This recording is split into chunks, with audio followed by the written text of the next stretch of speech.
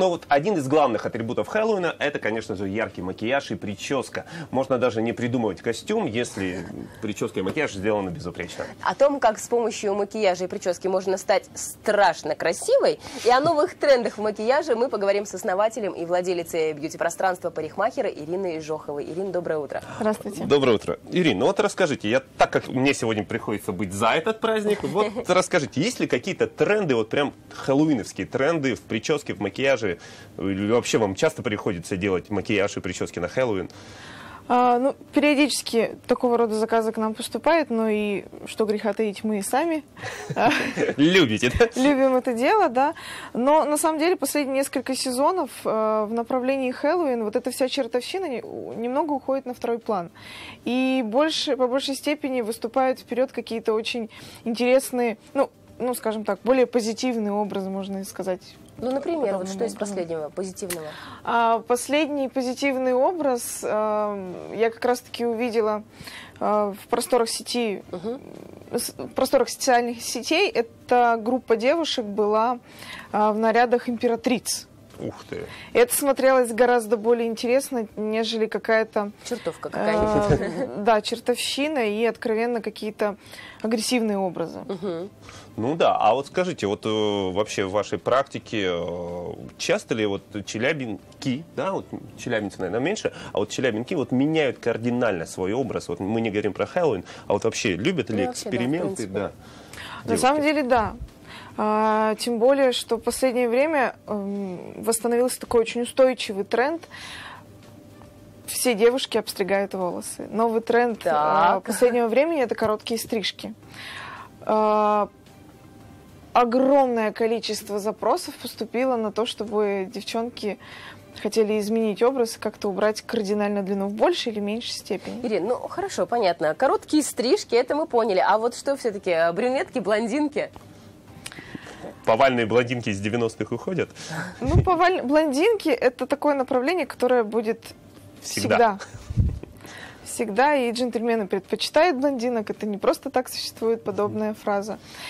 Сейчас, несмотря на то, что если в статистике мировой блондинов у нас уменьшается, натуральных блондинов, допустим, а, если считать с 50-х годов, то с 43 до 14 процентов население блондинов уменьшилось. Но сейчас мы видим на улицах порядка 70% а, блондинок, и все это окрашенные блонды, да, и поэтому устойчива тенденция. А вот как часто направлении. мужчины меняют цвет волос?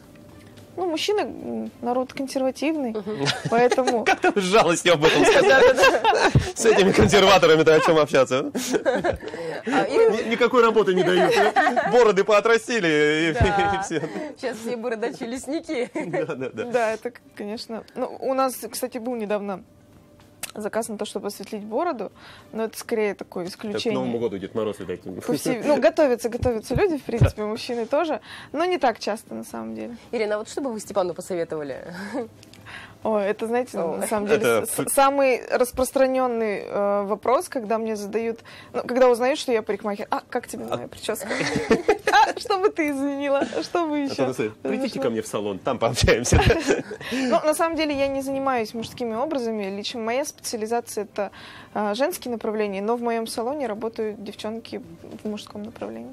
Ирина, ну и, наверное, последний вопрос. э, К сожалению, прямой эфир, времени не так много. Вот э, волосы, это понятно, да, но со временем мужчины и женщины начинают больше думать уже и о состоянии кожи в целом. Вот э, о волосах начинают забывать. Вот волосы, все-таки их надо поддерживать всю жизнь, делать им укрепляющие Ну, маски. хочешь там быть красивой, конечно, поддерживай.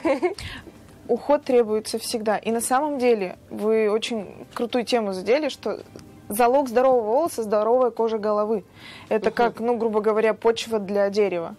Из сухой почвы ничего не вырастет, поэтому необходимо ухаживать и за кожей головы в том числе. И сегодня, ну, скажем так, у нас огромный выбор подобных продуктов. Ну что ж, Ирина, большое вам спасибо за то, что проснулись рано утром, пришли к нам в эфир. А Вы за или против Хэллоуина? Вот так вот. Одним словом. И у меня нейтральная позиция.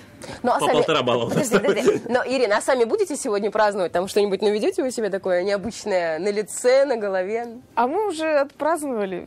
А, Но, Да, На самом деле у нас в бьюти-пространстве всегда Хэллоуин, потому что у нас э, есть некоторый участок салона, где прикреплены черные головы. А, поэтому вот у нас всегда Хэллоуин. чьи? А, Чьи? Клиентов, которые не Будем захотели считать, что платить. опоздавших клиентов, но Ну что ж, Ирина, Понятно. большое спасибо за то, что пришли к нам в гости. Мы напоминаем, что на наши вопросы отвечала Ирина Жохова, основатель и владелица бьюти-пространства «Парикмахер».